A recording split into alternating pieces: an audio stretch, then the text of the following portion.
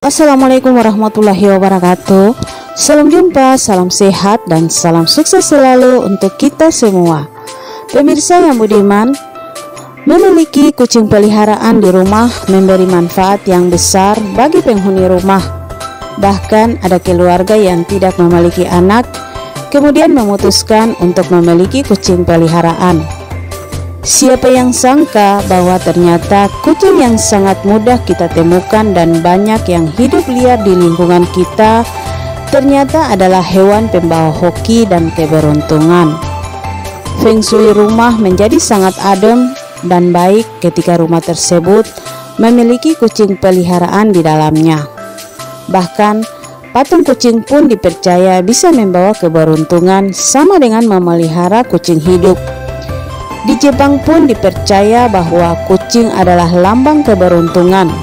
Maka tak heran banyak masyarakat Jepang yang sangat menyukai memelihara kucing dan diperlakukan layaknya anak sendiri.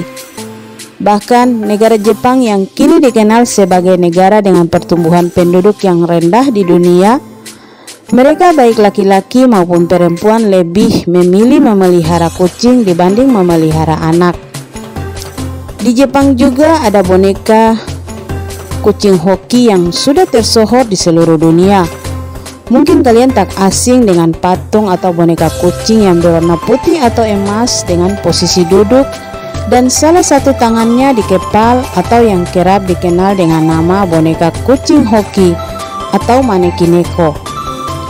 Di berbagai tempat usaha biasanya boneka kucing ini diletakkan dengan tujuan untuk membawa pelanggan datangi tempat usaha atau membawa hoki bagi usaha tersebut. Tetapi apa jadinya jika yang ada adalah kucing hidup? Tak sedikit masyarakat Indonesia yang suka memelihara kucing di rumahnya dan ternyata hal tersebut bisa membawa hoki ke dalam rumah bahkan berujung pada kelancaran keberuntungan sang pemiliknya. Ada tiga alasan kucing bisa membawa feng shui rumah penuh hoki, yakni satu, cinta. Salah satu peliharaan yang setia dan perhatian dengan majikannya adalah kucing. Seakan hewan yang satu ini peduli dengan keberadaan sang majikan atau pemiliknya. Tetapi cinta yang dimiliki kucing adalah cinta yang diberikan oleh sang majikan kepadanya maka penting untuk terlebih dahulu memperhatikan keperluan kucing sebagai hewan peliharaan, yakni kerap bermain-main dengan kucing dan memberikan kasih sayang kepada si kucing. Dengan demikian, mereka akan mencintaimu dalam suka dan duka, bahkan mereka juga bisa menjadi penyemangat saat kamu sedih. Kedua, energi yang dalam ilmu Feng Shui dikenal energi yin dan yang. Energi yang dibawa kucing dalam feng shui rumah adalah energi yang.